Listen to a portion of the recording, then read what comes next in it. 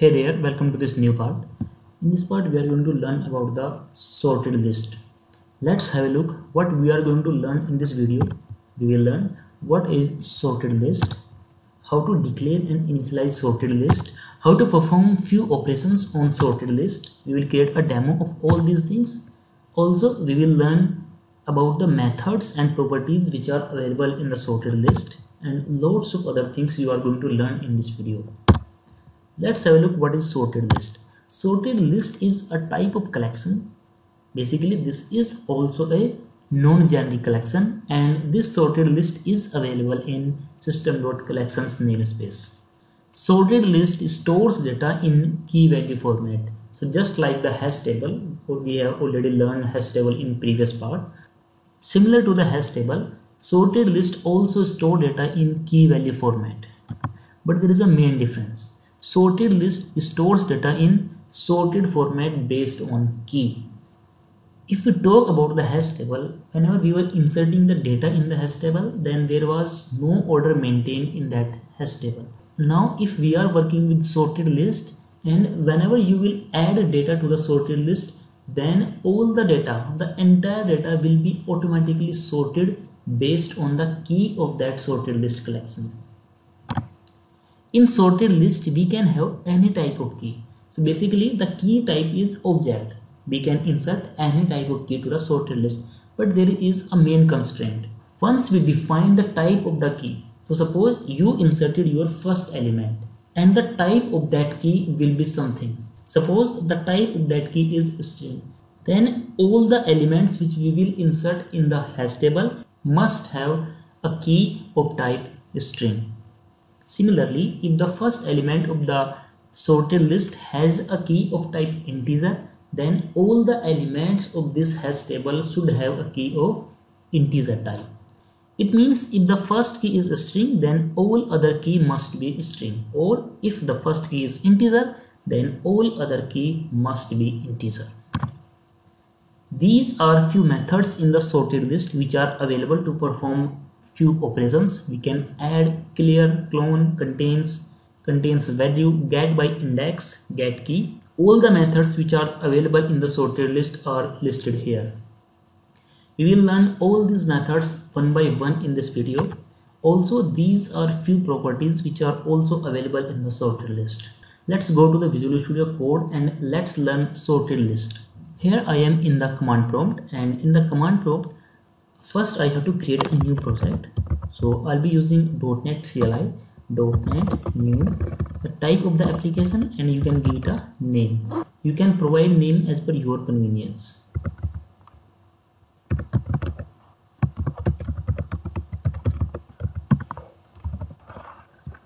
Let's open it in the editor.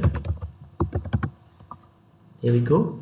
Let me close this welcome page and let's open the program.cs class here I have to include a namespace which is using system dot collections. We have included the namespace in the program and now we have to work with the sorted list. To work with the sorted list you have to use a class. The name is also sorted list like this. And after using the class name you have to give it a meaningful name for the variable. Suppose my sorted list that's it. This is how you can declare your sorted list in the C sharp. Now it's time to initialize it. To initialize it we can use the name of the sorted list and then new sorted list. Let's see how many overloaded versions of the constructors are available in the sorted list. If I press F12 over here you can use any one of them. First we have the parameterless second one we can pass the comparer third one we can pass a dictionary. Then we can pass the initial capacity which can be increased later when you will add few other elements. Then we can use the comparer and the capacity. Multiple overloaded versions are available over here. You can use any one of them based on your requirement. Also you can initialize it in the next line or any other line in your program or you can initialize it in the same line where you have declared it okay? There is no problem in that. Now let's add few elements to this sorted list. To add element we have to use a method which is add. My sorted list we will be using the name of the sorted list dot add. In this list you can see we have to pass two parameters. First is key second is value.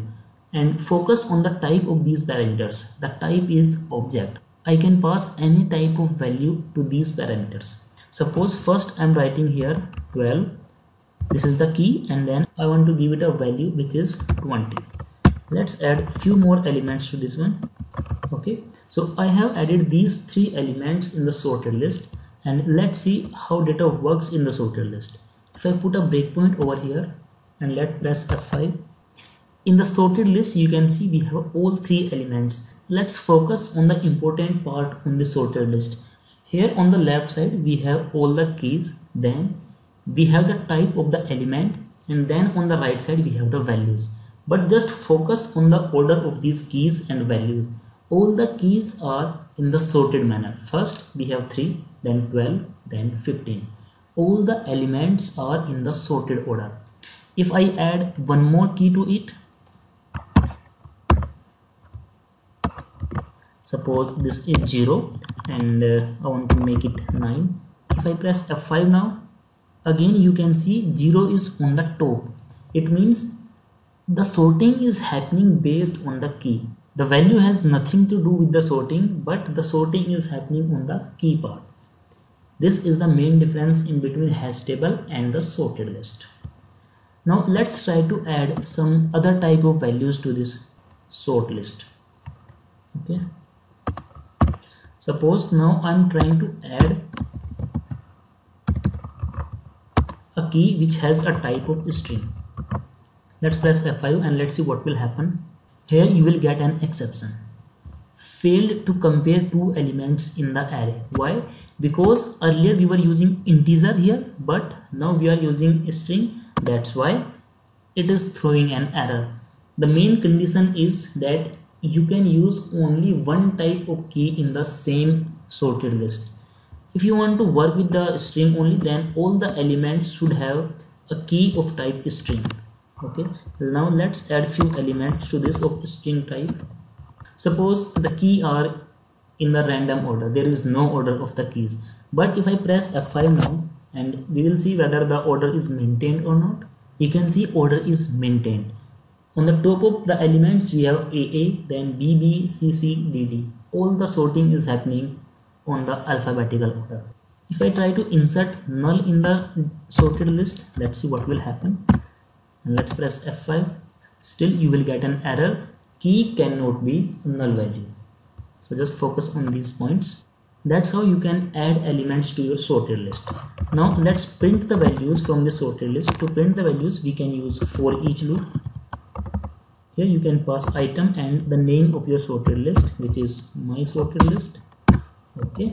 And uh, let's give a message here. Console dot write line. I'm using dollar here to include the variables in the string. Key is equal to curly bracket. Item dot. So you will see there is nothing like key and value here so you have to change your type from where you have to use dictionary entry. Okay? And now if I press the IntelliSense you will get the key and the value.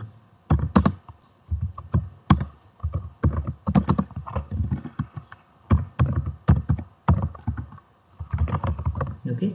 Let me remove this hello world message and let me remove this breakpoint also let's press F5 here you can see on the control screen we have all the keys and the related values. All the keys are in the sorted order. First you can see a b and d. We have everything in the sorted order. Let's try few other methods on this sorted list.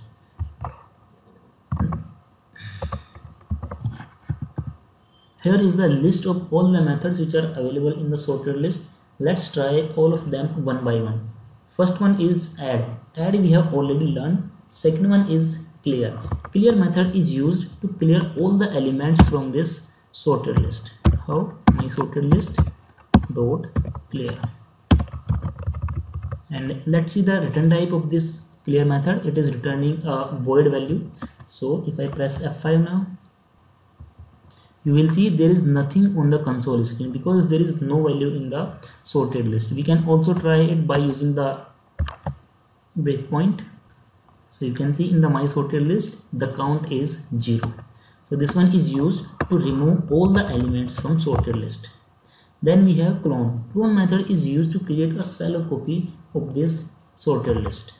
Let's try the clone method. We can declare a new variable where mm, my list 2 and my sorted list dot clone clone method is used to create a shallow copy of the current list.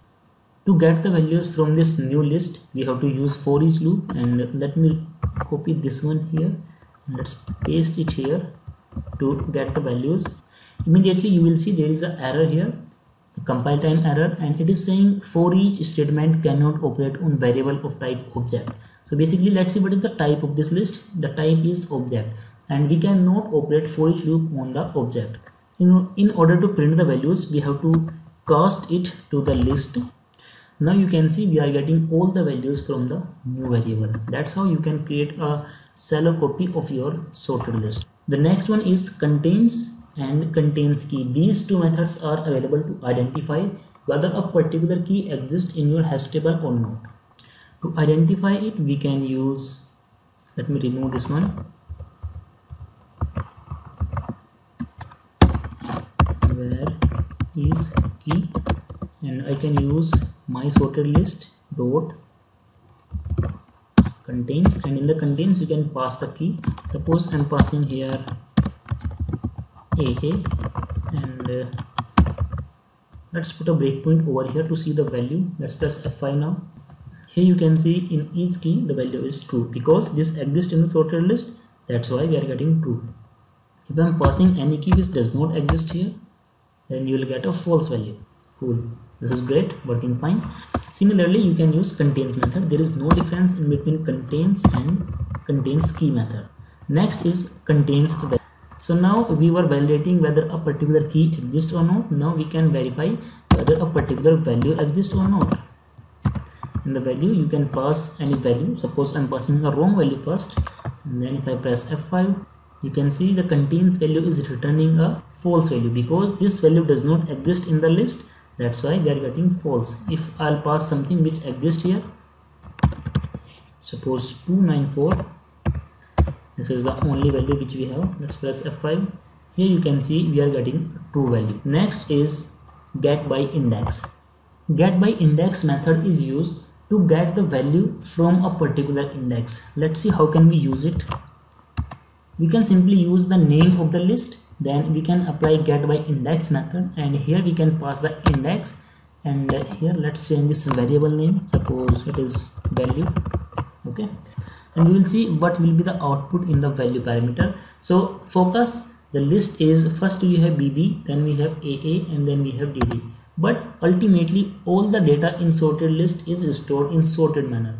So the list will be modified automatically and the first element will be aa the second element will be bb and the third one will be dd so if i talk about the index at the zero index the value will be aa at the index 1 the value will be bb and at the index 2 the value will be dd let's verify the result here in the get by index method.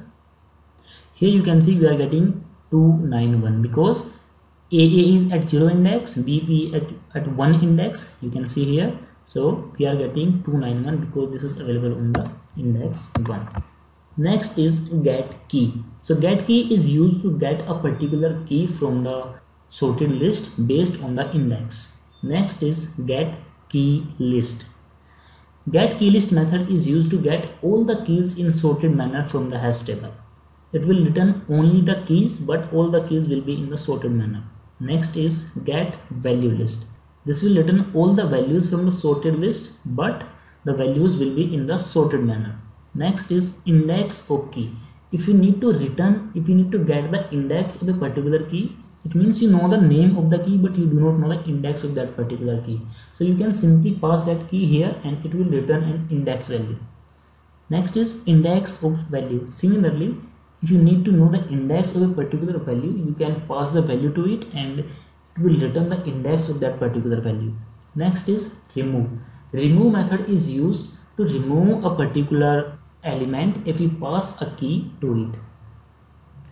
In the remove method you can pass the key and that particular key will be removed from the sorted list along with the value. Next is remove at using the remove at method you can pass the index and the value on that particular index will be removed now these are few properties which are used in the sorted list. First one is the count.